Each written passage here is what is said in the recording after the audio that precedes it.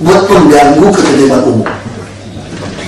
Perda hanya mengatakan bagi yang melanggar ketertiban umum diancam kurungan maksimal 60 hari dan denda 50 juta. Tidak ada di perda mewajibkan gubernur dan gubernur menyediakan tempat buat dia supaya dia tidak mengganggu ketertiban umum. Tidak ada.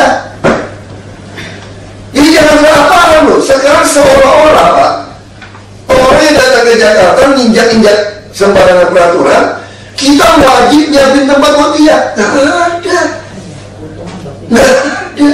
Rusuh ancamannya. Lu kan gitu takut. Takut rusuh nih. Bakar-bakar toko nih. Bakar aja seluruh Jakarta. Tembak tempat ada protap. Petugas terlalu bodoh. Kalau ada tembak.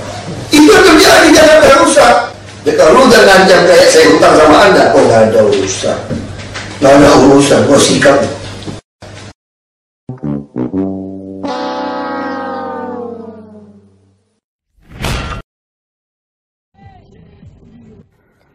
Pemalakan ini terjadi pada hari Kamis 5 September 2019 yang lalu sekitar pukul 12 siang. Para pemalak ini berperan menjadi juru parkir liar ataupun Pak Ogah. Dalam pemeriksaan kepolisian ditemukan barang bukti uang tunai senilai Rp230.000, baju, serta topi. Selain itu, para pemalak ini juga diketahui tidak memiliki pekerjaan maupun tempat tinggal.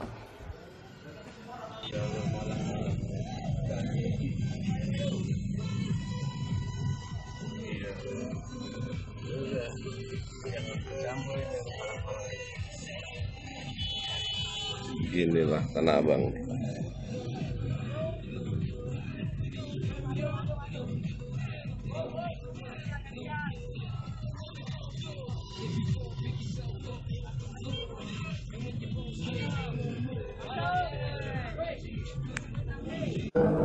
yang melanggar juga, tapi karena kebutuhan. Empat orang sudah bisa kita tetapkan sebagai tersangka karena memang mereka cukup bukti melakukan tindak pidana pemerasan.